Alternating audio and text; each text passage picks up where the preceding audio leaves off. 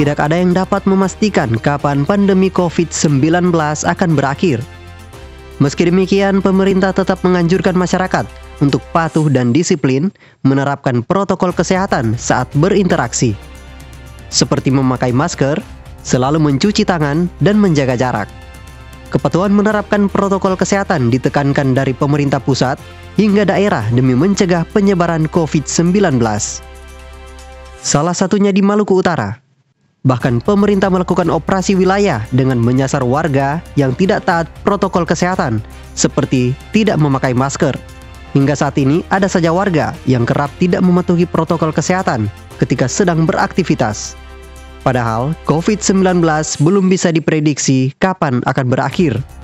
Badan Pusat Statistik Maluku Utara pernah mensurvei perilaku masyarakat yang tidak patuh prokes cukup terbilang tinggi di wilayah Maluku Utara bahwasanya kepatuhan masyarakat di lingkungannya itu yang belum menggunakan satu masker itu sebanyak 67 persen.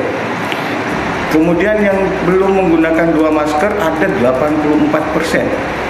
Nah kemudian masyarakat yang biasa mencuci tangan pakai sabun atau hand sanitizer itu sebanyak 69 persen.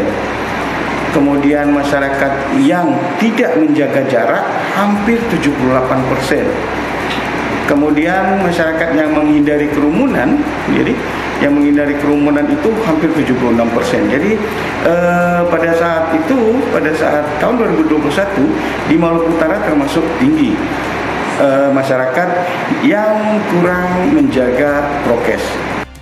Berdasarkan hasil survei BPS, terdapat beberapa alasan tertinggi dari masyarakat yang tidak patuh prokes.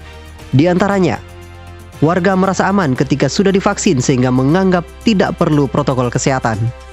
Serta ada pula yang merasa risih dan sulit bernafas ketika memakai masker.